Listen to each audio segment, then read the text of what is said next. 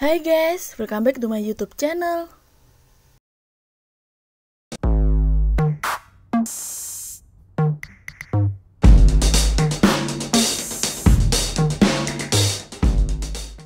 Nah, di video kali ini aku mau berbagi resep cara membuat pai susu. Pai susu yang manis dan enak.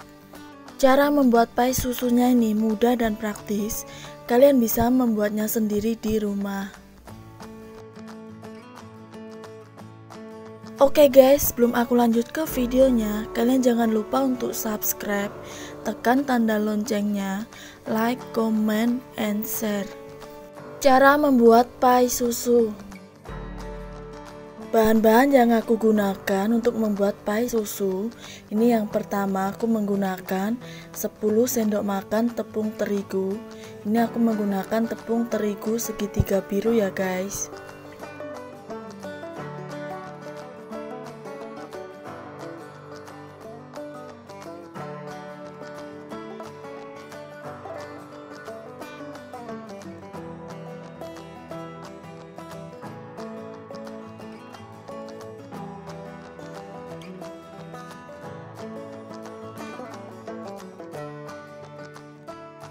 Kemudian aku tambahkan 5 sendok makan margarin ataupun mentega.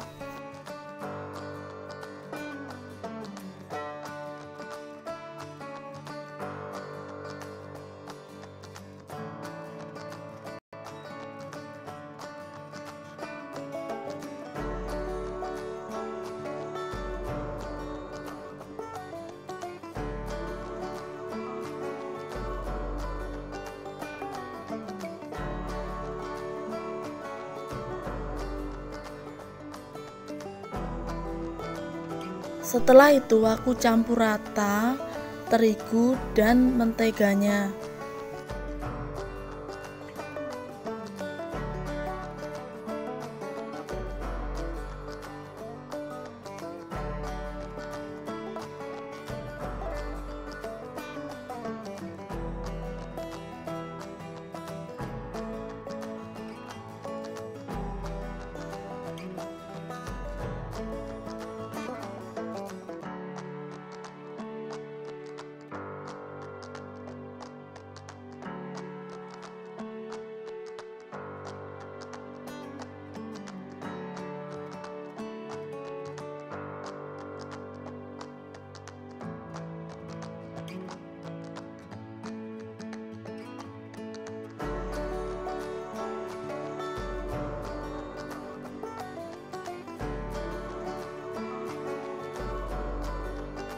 Nah ini sudah tercampur rata ya guys.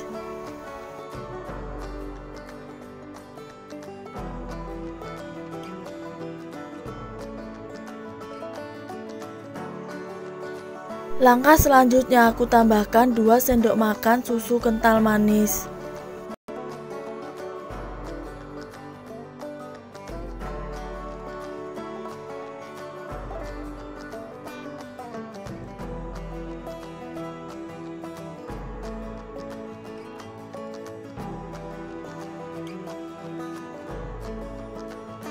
Setelah itu aku campur rata, kemudian aku ulenin sampai kalis.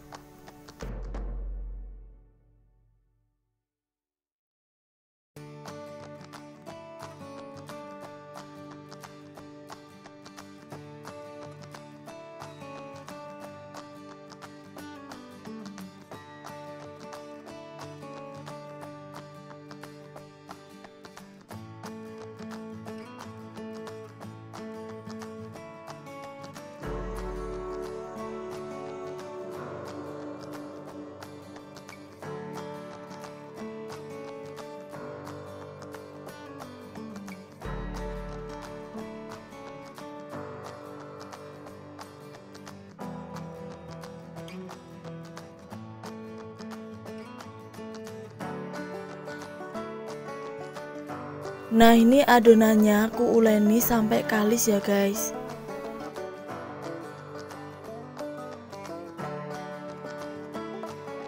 Langkah selanjutnya aku ratakan adonannya ke dalam teflon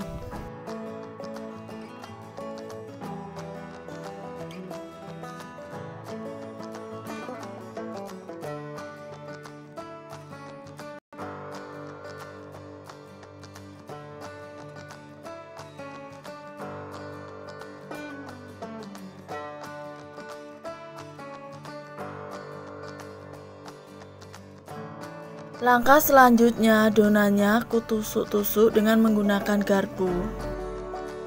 Ini aku tusuk-tusuk di bagian tengahnya aja ya guys. Ini tujuannya supaya flas susu yang akan kita tuang di tengahnya nanti itu bisa matang secara sempurna ya guys.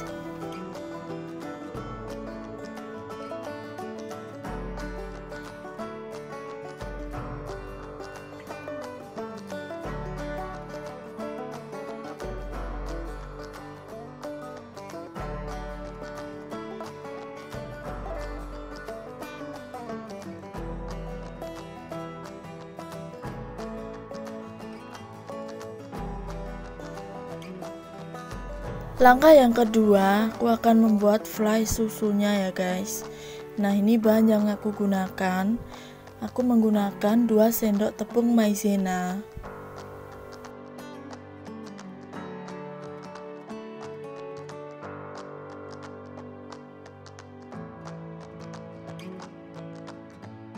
Kemudian aku tambahkan 10 sendok makan air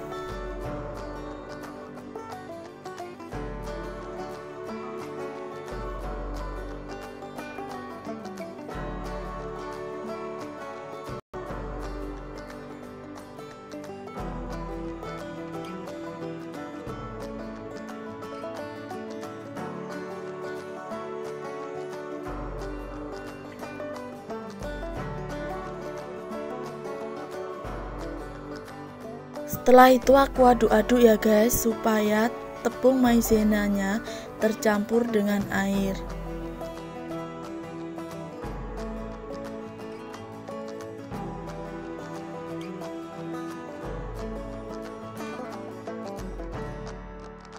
Langkah selanjutnya aku tambahkan 2 butir telur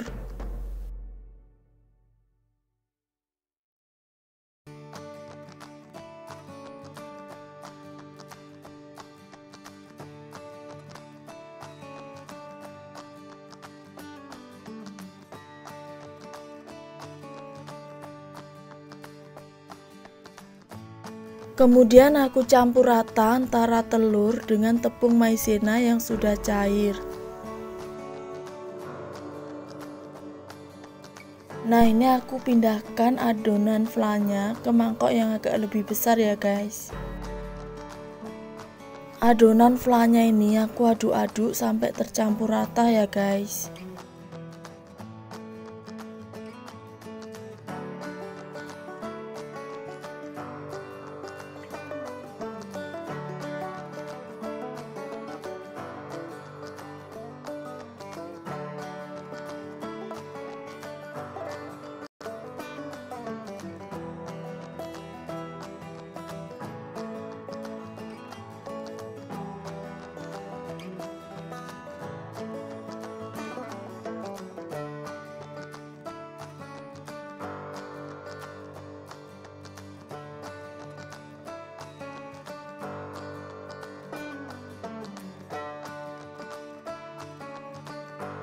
Langkah selanjutnya aku tambahkan 2 saset susu kental manis dari Frisian Flag.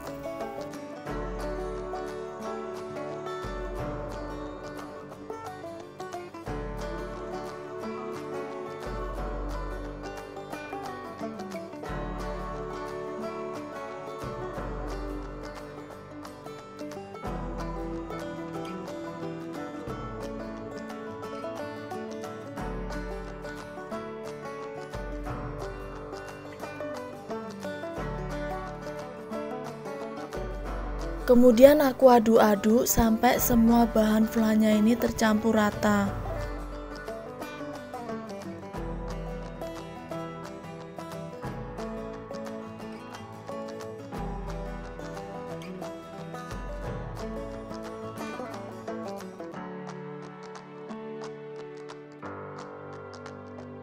Langkah selanjutnya aku tuangkan adonan flas susunya di tengah-tengah adonan yang sudah aku ratakan di dalam teflon tadi ya guys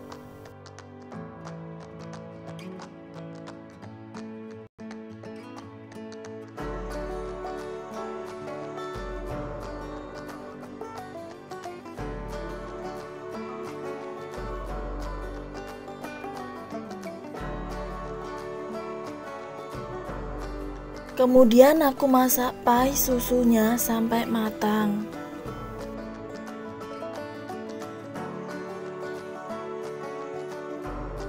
Cara memasak pai susunya ini harus dengan menggunakan api yang kecil supaya tidak mudah gosong ya guys.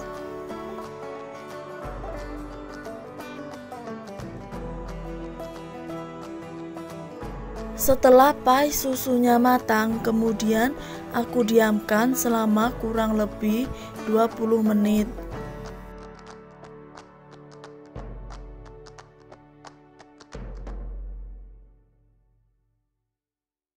Langkah selanjutnya, pai susunya aku keluarkan dari teflon dan hasilnya seperti ini ya guys. Pai susu yang manis dan enak.